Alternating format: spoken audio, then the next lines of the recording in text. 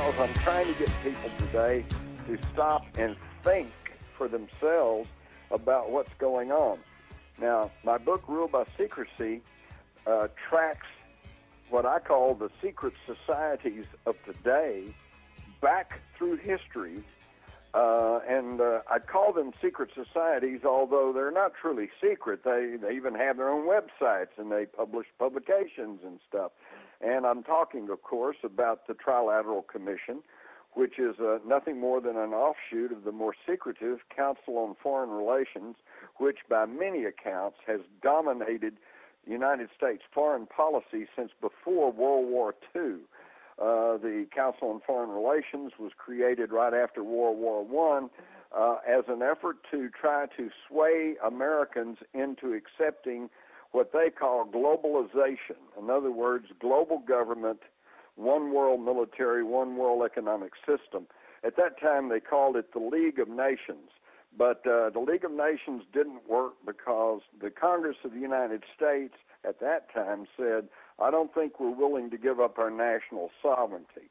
So they created the Council on Foreign Relations to um, help try to push the idea for this globalization. And of course, we see that in action today through uh, secret society connected trade organizations such as the World Trade Organization.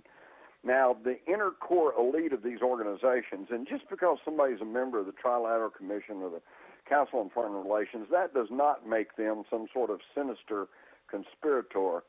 Um, a lot of them are in there for the business contacts, the social contacts, and a lot of them just want to rub elbows with the rich and powerful.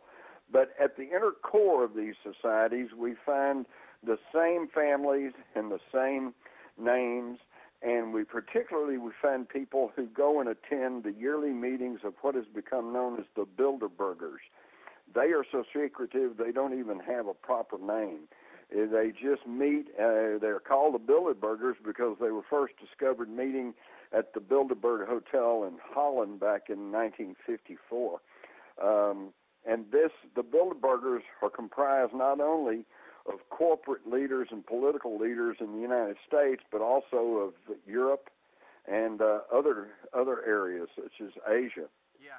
And they meet under armed guard, and uh, no one is allowed to say what they're talking about. Now, this is disturbing to me because um, very high-ranking leaders in the United States have attended. Um, Hillary Clinton in 1992 was a guest of the Bilderbergers, and that's why I think that we can probably look to her for presidential aspirations. But to me, the fact that they would all meet in secrecy and that we can't find out what they're doing. Uh, I mean, Alex, think what would happen if all the owners of the National Football League franchises were to meet in a big hotel under armed guard for several days and then come out and refuse to reveal what they talked about.